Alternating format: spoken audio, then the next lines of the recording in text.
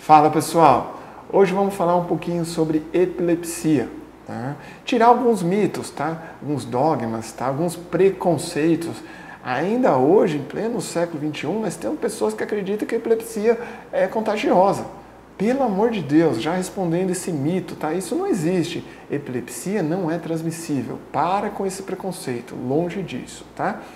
Epilepsia é uma doença para eu ter o diagnóstico de epilepsia, eu tenho pelo menos ter duas crises epiléticas distanciados durante 24 horas que não seja provocada por outra situação.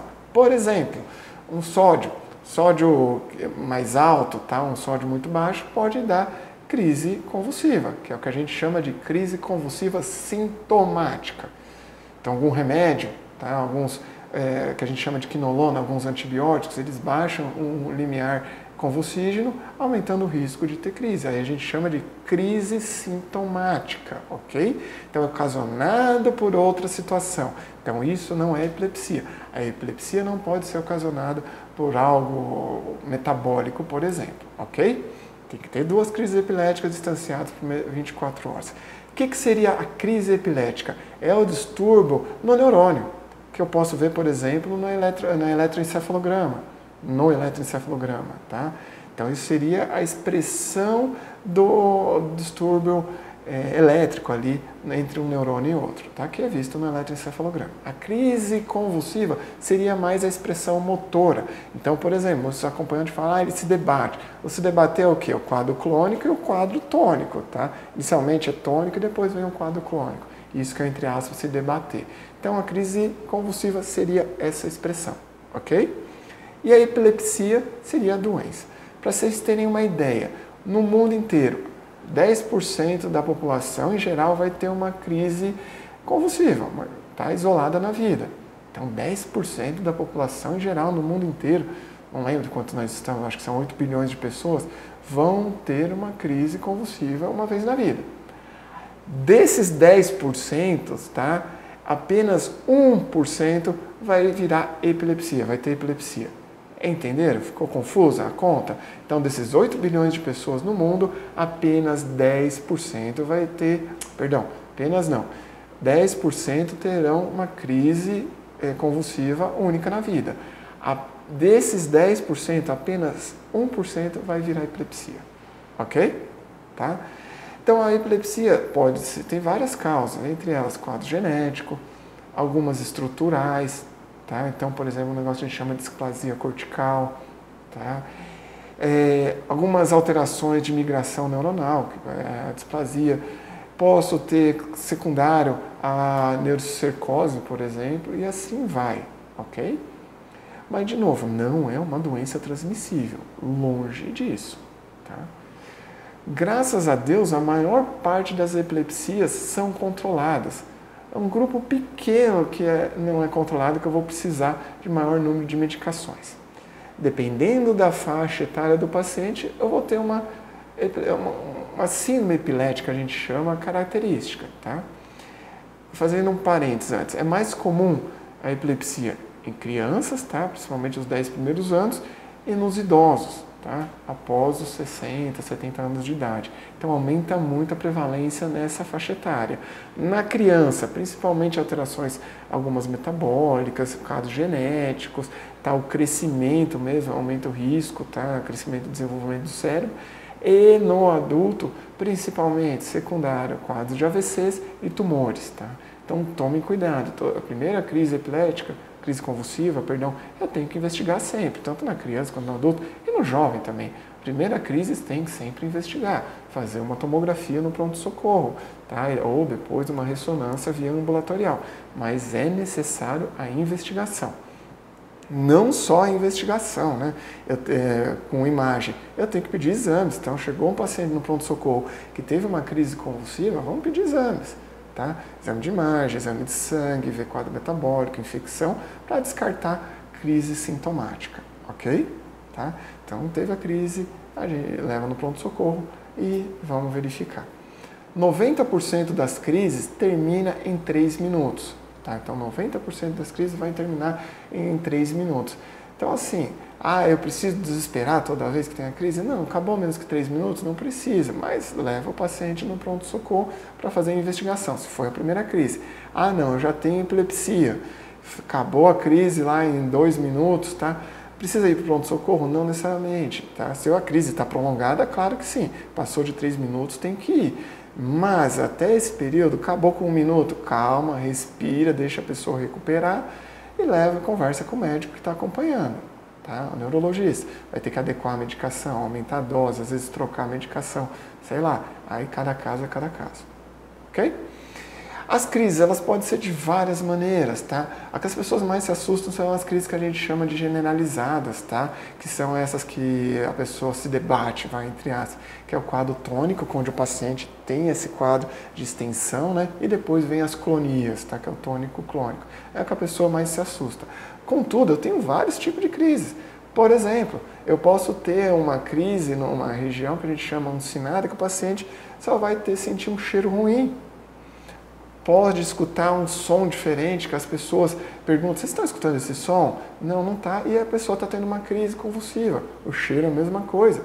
A pessoa pode ter um negócio chamado só piloereção, então ter o pelo ficar eh, ereto, né? E isso é uma crise convulsiva. Tá? Então, desde crises mais leves, entre aspas, essa, a crises mais é, generalizadas. Então, tudo isso é crise. Muitos casos, o paciente tem um negócio que a gente chama de parada comportamental. Então, ele está aqui parado, de repente ele olha para cima, olha para o lado, tem movimentos automáticos, então a mão começa a mexer, fazer coisas que não têm sentido.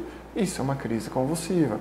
E muitos acompanhantes acabam não prestando atenção nisso. Acabam prestando atenção só no quadro tônico-clônico bilateral, que é o mais feio, né, entre aspas. Né? É, entre aspas não, é o mais feio. Tá? Ok, mas isso também que eu comentei é crise convulsiva. Então, às vezes, o paciente começa com uma parada comportamental, automatismo, evoluindo para um quadro tônico crônico bilateral.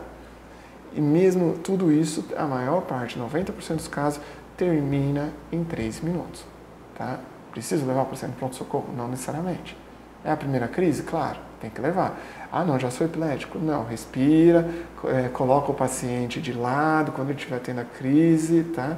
E espera. Deu menos que é, acabou em um minuto, dois minutos, ele vai ficar com um quadro que a gente chama de pós-ictal, que é um quadro sonolento, e depois ele vai recuperar. Não está recuperando, teve outra crise, tem que levar no pronto-socorro também. Isso é de suma importância. Ok? Caso recuperou, ligue para o neurologista, para o médico que está acompanhando, marca uma nova consulta para adequar a medicação. Dica importantíssima, moçada. Tá? Isso é de suma importância. O paciente está tendo uma crise, principalmente crise generalizada, jamais, vou falar até mais alto, Jamais, nunca, nunca, pelo amor de Deus, colocar o dedo na boca do paciente. Falar, ah, a língua tá caiu, vamos lá desobstruir. Pelo amor de Deus, um dos músculos mais fortes que a gente tem é o masseter. Se o paciente morde, você vai perder o dedo. Aí que vai matar o paciente, porque o dedo vai cair lá na traqueia, vai parar de respirar. Fora a dor que a pessoa vai ter um acompanhante. Eu sei que é de muita boa vontade fazer isso, com medo de ter problema para o paciente, mas pelo amor de Deus, por favor, vai, vamos combinar. Nunca vocês vão fazer isso. O que, que vocês vão fazer? Claro, proteger o paciente. Ele está em pé, está sentado, coloque numa, no chão, coloque no sofá e vire o paciente de lado. Só isso. No momento que virou de lado, a língua vai desabar para o lado, não vai obstruir a via aérea. Acabou. Jamais. Por favor, prometam para mim, vai. Que nunca vão fazer isso. Colocar o dedo na boca do paciente. Com crise tônico-crônico generalizada. Pelo amor de Deus, vocês vão perder o dedo. E vão matar o paciente. Tá? Ok, virou de lado. Passou em dois minutos, três minutos. Respirem, tá? Converse com o neurologista, como eu já disse. Não passou, chama o SAMU, leva o mais rápido possível pronto-socorro. Ok? Tá?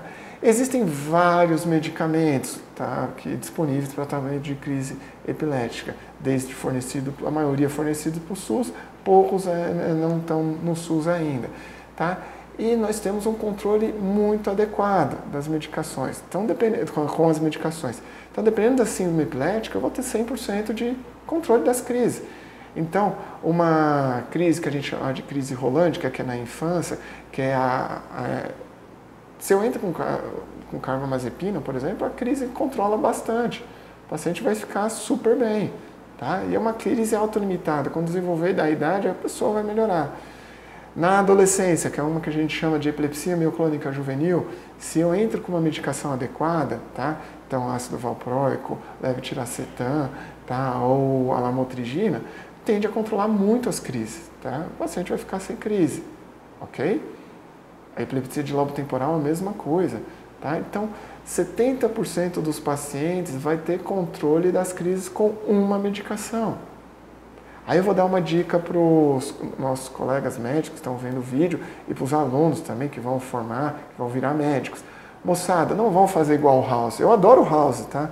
Eu assisto em todas as temporadas dele, gosto pra caramba, mas não vão fazer igual o House. Entra com tudo e depois vai tirando aos poucos para ver o que funciona. Não! Sempre tratamento monossintomático, uma medicação só bem indicada para síndrome epilética. Então, por exemplo, eu disse da epilepsia mioclônica juvenil, que é uma crise generalizada desde o início. Vou dar uma droga de crise generalizada, ácido valproico, levetiracetam, lamotrigina, que aí eu vou conseguir controlar. Se eu der uma droga que não é para epilepsia generalizada, não vai funcionar. O paciente vai piorar, ok?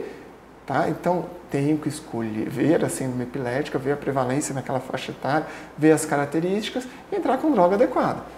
Tá? Então, 70% desses pacientes vão controlar com uma droga. Se eu coloco uma segunda droga, subo de 70% para 80%. Se eu coloco uma terceira droga, vou subir apenas 5%. Então, o principal, escolher a síndrome epilética, escolher não, perdão, é, definir qual que é a síndrome epilética, caracterizar como que é e escolher a medicação adequada, com dose adequada, ok? Então, isso é de suma importância. Lembrando, epilepsia não é transmissível. Tá? É uma doença que acomete uma faixa boa da população. No mundo, em geral, apenas é, 1% tá? do total, lá daqueles 10% que eu comentei na crise é, única isolada. Tá bom? Então, assim, é uma doença que tem tratamento, tratamento adequado, que a gente consegue melhorar muito a qualidade de vida do paciente. Ok? Tá? Então, aqui um resuminho um pouco para vocês sobre epilepsia. Tá? Depois a gente comenta um pouquinho em outros vídeos, um pouco mais sobre medicação, outras síndromes. Se vocês tiverem dúvida de alguma coisa também, comentem aqui no canal, tá? Que aí eu faço vídeos de novo. E não se esqueçam de se inscrever, pelo amor de Deus, tá? Tem que pedir de novo para vocês se inscreverem? Se inscreva no canal, não precisa, tá? Eu tenho certeza que semana que vem vocês estarão aqui para a gente ver, para a gente compartilhar mais um vídeo, outras informações, ok? Espero vocês semana que vem. Tô esperando, hein? Olha, não me decepcione, senão eu fico triste aqui. Um abraço, moçada.